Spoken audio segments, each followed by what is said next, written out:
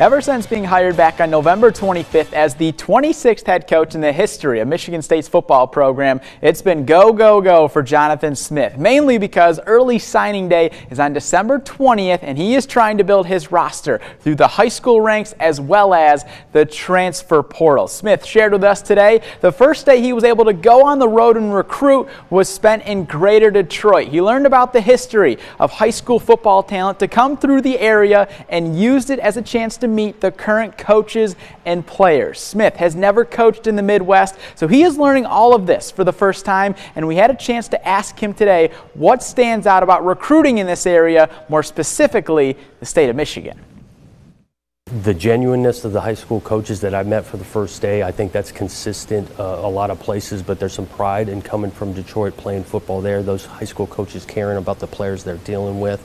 Um, there's good good players that love football in Detroit. Um, just meeting a few of them, that stands out.